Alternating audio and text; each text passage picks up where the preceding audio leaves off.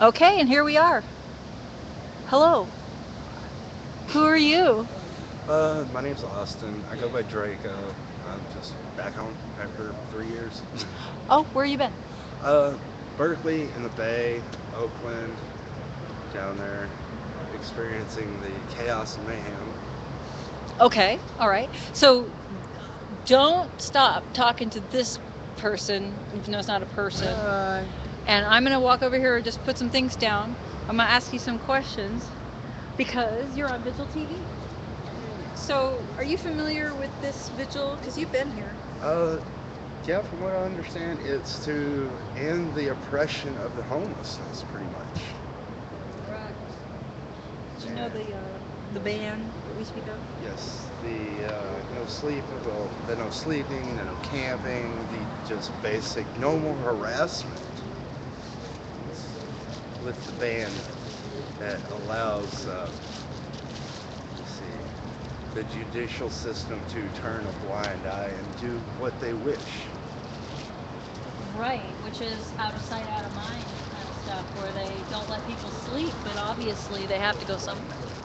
Yeah, well, my thing is, is I like to sleep in the daytime because it's really hard to sleep at night when people are trying to kill you and rob you. Right. So, what's the obstacle to sleeping in the daytime then? Uh, police uh, presence, presence by forest rangers, uh, and just society not accepting the fact that some people are residentially challenged Residentially challenged. or dwelling impaired. They're yes, Because homelessness is a classification nowadays.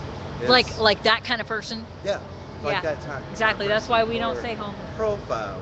Yep. We don't say homeless because uh, there is no such thing as a No, homeless. I'm not homeless. person. Portland's my home. Yep. It's been my home for seven years. I've been gone for three, but it's still my home. Right on. Sounds like we're on the same page. So uh, now, do you want me to call you Austin or the other name? The other name. What's the other name? Draco. Draco. Okay, Austin's, uh, well, anyway, good friend of mine. Yeah. Also. It's common. um, And everybody wants to be viewed as an individual, so that's why people make up street names or other names. right. That makes sense. So I'm, I'm looking at what I could pull out here. I uh, we used to have these real ones, but uh, I got a fake one because the real ones kept getting stolen. They always will. You know, it's okay. I mean, somebody can care for it less than they can, but I'd like to keep one here or, or just you know, be able to replace a fake one. So anyway, I really need a long stem flower because I got a new vase. I thought this would look pretty in the candlelight. Where's my knife? I'll get you one. Nice. So, uh, Long stem rose. cool. so, uh, hey, we have more viewers. So Draco, have you you've been houseless before? uh, 28 years I've been on the street. What? Yeah. You're looking Since I was good. You're looking good. Yeah, Dang. yeah. Wow. But It's rough. Uh, it's not easy, but You got, you know, you got a pretty smile for somebody who's been homeless for a long time. even though I'm missing one tooth. Missing one, but damn, you got a lot of them. You know, that that seems to be a hazard for people is keep keeping their teeth. Yeah, that's the Major. hardest thing is that showers. Where, how do you get showers if you're houseless? Uh, uh, there's a guy who provides showers with a trailer. And Yeah, I just love got that back guy. off vacation, and so I got Yeah. a shower today, got cleaned up. didn't You know, he no pulled up here? money. He pulled up here to our vigil. He did. He has, and uh, we want to support that guy. Uh, showers for the people. Shower to the people. Yes, yes. Shower to the people. That's exactly. who it Mad shout out to that guy. Look him up man. online, you guys. This is uh, his own nonprofit effort, and Yes, he's he does beautiful. It all himself. He goes down underneath bridges. He's Mhm. got a couple of regular places. You find out where he's going to be and go take a shower. He provides Um, everything, from what I this understand. week- Everything. Uh, Everything. Everything. Tomorrow and Wednesday, he will be in Chinatown here in Portland. I can't remember what street. And then Fourth and Couch. Fourth and Couch. And then uh, Thursday evening, he'll be under. Fourth and the Couch, right by Burnside uh, Bridge. right by R2D2. Yeah. Okay. And then At Burnside Bridge on Thursday night. and then Friday back. Back on Fourth and Fourth Couch. So, When when is he there? Uh, 10 a.m. to 2 p.m. Yeah. Okay, so that's not too early So if either. anybody needs a kinda nice. shower, there you go. It's hot water. It's It's really got a great. toilet, it's got a sink, it's got a shower. And girls, everything you need in there. everything. Everything you need, girls, everything, including girl stuff. Okay, He has that's it all. that is really good to know. Underclothes, socks, hygienes for all women and men. Wow. And that's one Everything thing for that free. I learned a long time ago is essential for living on the streets Mm. because I got a job in Berkeley, California a few years back at the Dollar Tree. The only thing I had to maintain was my clothing and take a shower. I was living in a camper. I got a job. Uh, it helps. It helps. But help a lot. nowadays, it's, there's no jobs as we know. Oh, so- okay, I got a question for you. This is like the how to be houseless show, apparently, because uh, we're trying to help out people. I collect info, like that shower to the people thing. I didn't Yes. have the dates and times. Now Oh, I can yeah. go down with the video, check it out, or I could just remind myself to go to the damn website once in a while. Yeah. But we can also, if you want, grab that guy's card or schedule or something. Definitely. Put it in here because we got space for that. Yeah. Yes. Uh, we, we will do that. So, Shower uh, to the people. want to support nobody that nonprofit. Sisters of the Road. yes, Yeah. yeah. the roads, Blanchet House. The Blanchet House, the um, Now those two, Portland Mission. Blanchet House, uh, my co-host here, 99, he's actually taken a camera with him. I don't know how, how that works because I don't film people who don't want to be filmed. So I don't know how he handled it, and I haven't seen it. But um, he did it. He went on the road. I think that's awesome. Sisters of the Road, we are very proud of for what they're working on. They have been around for years. They are doing the homeless bill of rights, Yes. and uh, we can go to those meetings, you guys, if. Uh, if you- TPI will also help out with your IDs if you don't have no ID. They'll help get you ID, your identification, your birth certificate. Can I put you on camera? Yeah. All right. So Yeah. let's make this Yeah. an interview with. Hi, what's I'm your name? Trina. Tina. Tina. Tina. Tina. Okay. Anyway, so now this has TPI. become. If you guys want to look this up, interview with Draco and Tina. That's fine. Somebody's getting screwed. or he just wanted to run on a light. Yeah, they'll go He fix turned them off. 9% of the time. Yeah, I'm Draco's wife. Oh, good. Yeah. Cool. I'm Yeah. married to. Yeah, TPI TPI is another place where TPI is another place where the homeless can go get their help to get their identification, birth certificates, social security cards. It's a, it's like a homeless resource center, and they also have a program, uh, the Link program, to where you can work for the rescue mission to get indoors. Okay. Where they'll put you up indoors. How how successful are they? How long does it take? It's got a long waiting list right now. There's like I, I was talking to a guy today, and it was like he had like 200 some odd people ahead of him still. So they And were it's- talking a few months. Yeah. A few months. Yeah, probably. I've heard between six and 18 months Something to get like that, kind of. indoors. Just to get indoors, okay? Just to get indoors, but you guys still got to work for the rescue mission still every day. You know, 5:30 to 8:30 at Right, the and it's easy to make a mistake where you don't check in and do whatever they told you. And It, this is part of this system. If you think about how many people there are outdoors, 2,500 was the estimate when they did the uh, sidewalk maintenance plan agenda draft women or and whatever. children are, are, are becoming the 2,500. more worst. It's the women and children that are also becoming the more worst. because they don't have as homeless. many facilities for women and children. They don't. And they don't have anything for families. Unless you have a newborn baby, yeah, they don't have a exactly. co-ed anything. No co-ed. you guys no can't co-ed go to a housing. Nope, we together. Can't go to shelter together. No, we have to be separate. Right. And that's, you know, if you have, say, an anxiety disorder, Yep. going to a shelter, well, actually, you know what? And Any the, woman going to a even allow your shelter, animals. The shelters You're do at not risk. even allow your animals. okay. If you have a And animals, uh, companion animals. animals are very companion, yeah. important for survival. Yeah, and they don't even allow those in there. Okay, so so not everybody can go to a shelter, even if No. they could. The waiting list, uh, the I mean the still- daily list of people standing in line. So my friend uh, um, Charles, tall Charles, long hair. He calls this homeless survivor. We were just joking around one day, but you know what I'm talking about? It's like, okay, how long can you stand in line?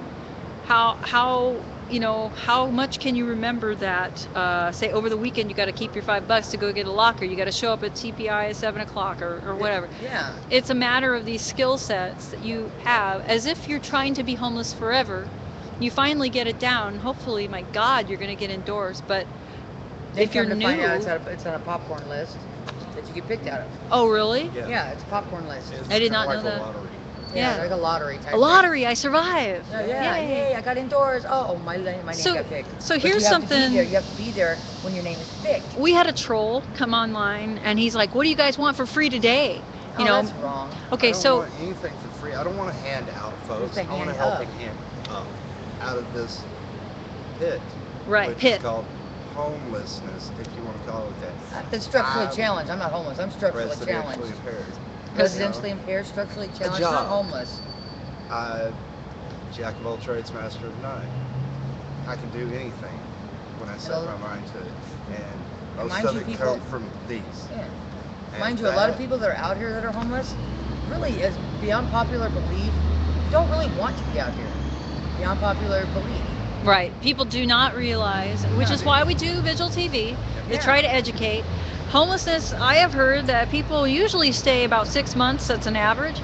The thing is, I mean, when, when I'm talking about outdoor, the Yeah, hardest. Without, without, without facility, yeah, Right. without what you need. So uh, I'm not not counting couch thing, really. surfing, cars, and all other ways of being technically homeless. I'm talking about street living, which is really street with sleeping dangerous. bags and what you got. Okay, so um, When the winter if comes it's just temporary, here the problem is during that time you've got an endangerment factor that's increased in this city because of the way the city's handling. If they let everybody be and say, yeah, go to a park, Go uh, here, go we'll there. keep guard around this area because we know that there's people around here, and in the meantime rest safely in our parks and clear out during the day, then people could actually function, get their shower, you know, get their IDs, maintain their belongings, get a job, get the fuck out. You get Pardon my place language. to Get here.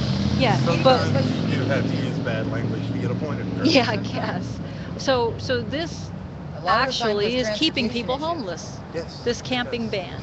The camping ban is keeping people homeless. It is, and I've really is. that they're starting to move some of the resources for homeless Away, people away from out of the area where the homeless people are. Exactly.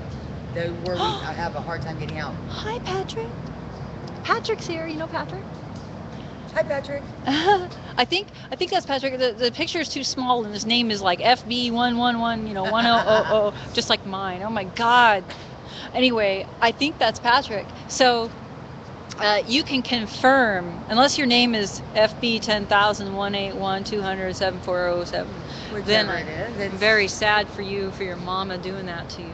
Yeah. But I think it's Patrick. Okay, so um, yeah, transportation and, and the resources of that for, for the homeless have been pulled away from us to the point where we're like hard to get to. transportation. Tell us about transportation, because that was an Well, action. everybody in Portland already knows that there is no more Fareless Square. There is no more. They shut that off And- as the first. That is do- that impacts the low income and the residentially challenged. Those Right. are the two classifications that it im- impacts the most.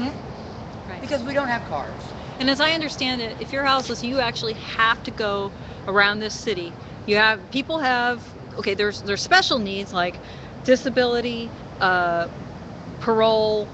Uh, Probation. There's there's yeah there's Classes. where you have to go. You might Uh, be- dr- you might have to go to Gresham in the morning and be in Hillsboro in the evening. Right. But in downtown, where the Fareless Square hits, these are people going back and forth from services like food, going to use the library to look for a job. Um, Showers. and this is also a reason people choose to live downtown is because all the Yes, services are here. yes. Pretty much. But now they're moving, they're trying to move the services out. Out of They've done downtown. away with Fareless Square, so now you have to walk every step of It is downtown.